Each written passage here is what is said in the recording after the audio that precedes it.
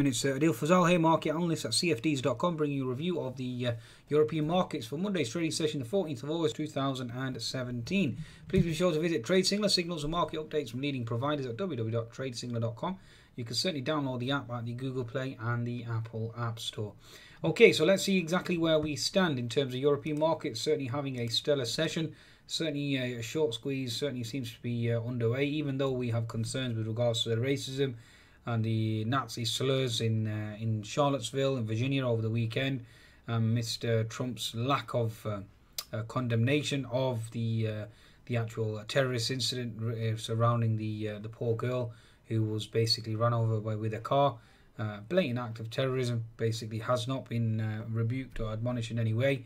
It hasn't even been acknowledged. Okay, he's of, he's blaming both sides when the innocent party were, were the protesters obviously certainly uh, putting forth the argument that uh, this society or American society has no place for Nazis, white supremacists, and racists, bigots.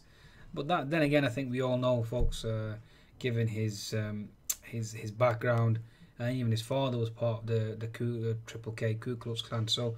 It, there's no surprise there that he has uh, racist tendencies, uh, especially given the fact that he's against Mexico and against immigrants and, and so on and so forth. But again, what goes around comes around. So there's always uh, some sort of justice eventually. So let's see what happens. Uh, again, if anything, he's destroying American society, destroying America's moral uh, high ground, destroying the America image globally. And and really, is there any respect left for America? Unfortunately, there's none.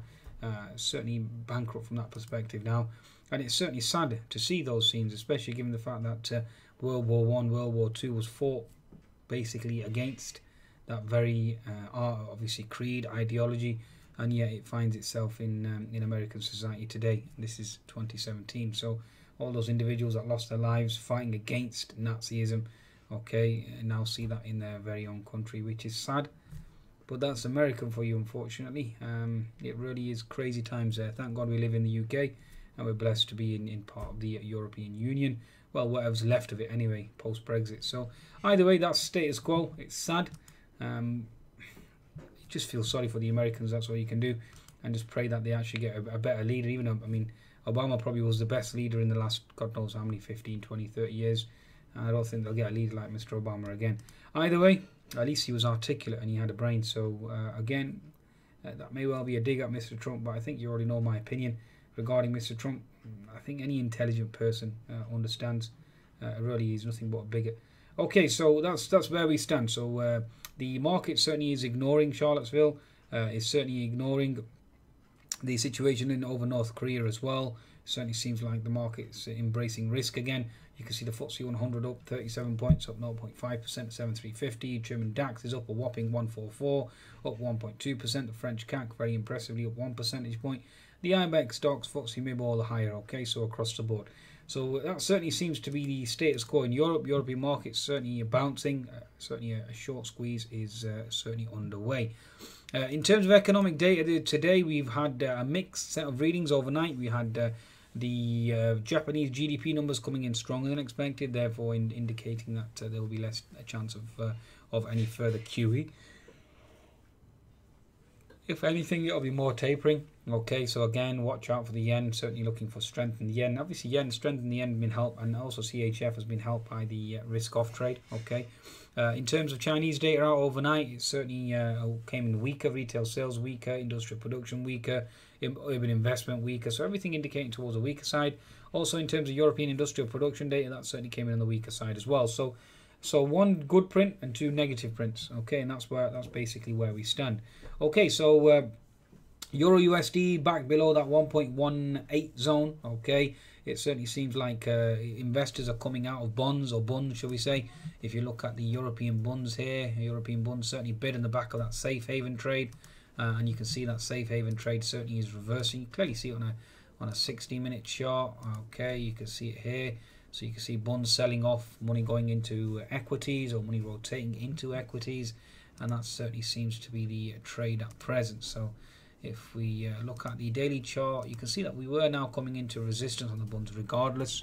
Okay, and you are seeing the Euros USD certainly moving as well. Bear in mind also as well that uh, Euro USD trade certainly seems to be some sort of uh, um, a flight to safety trade as well. So whenever there's risk off, euro generally catches a bid, bonds catch a bid. So the uh, the QE trade certainly goes into reverse.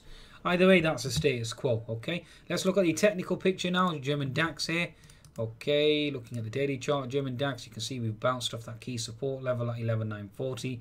Certainly an impressive bounce here, nevertheless. 60 minute chart on the German DAX at the moment, we're currently slamming into that fib 60 1% now. Okay, we've been consolidating here. Uh, certainly an impressive gap higher, just bear that in mind. So there's your gap below. Uh, you have that gap, okay, just just above 12,000. So you've got 12,013. And then obviously you've gapped higher quite impressively today. So you are now coming in or slamming into that fib 61%. Bear that in mind. That's certainly your key resistance zone. 10 minute chart at the moment you do have key resistance in this region again you have the unfilled gap above if the market obviously continues to rally, but very unlikely given the uh, status quo. Okay, moving on to the French CAC here. Very impressive French CAC certainly has closed that gap very impressively. So we are looking for gap fill, but having said that, you've actually left a gap behind. So you close one gap and you create another one. Okay, and that certainly seems to be the status quo. So 10 minute chart certainly into resistance on the French CAC. 60 minute chart, you are seeing gap fill and you are looking at previous support equals resistance and therefore you are looking for weakness here. Okay, you can see here we close the French CAC close the gap at 5050 and we've certainly been bouncing ever since. So you are now coming into resistance for the French CAC, so just bear that in mind, okay? Daily chart as well, bouncing off gap fill, okay? So certainly a typical bounce here from a technical perspective in terms of European equities. Moving on to the Eurostoxx, let's just quickly move on here. Eurostoxx certainly enjoying an impressive bounce as well. You are now coming into resistance on the Eurostoxx too. You've left a gap behind okay from my perspective certainly looking to be exhausted.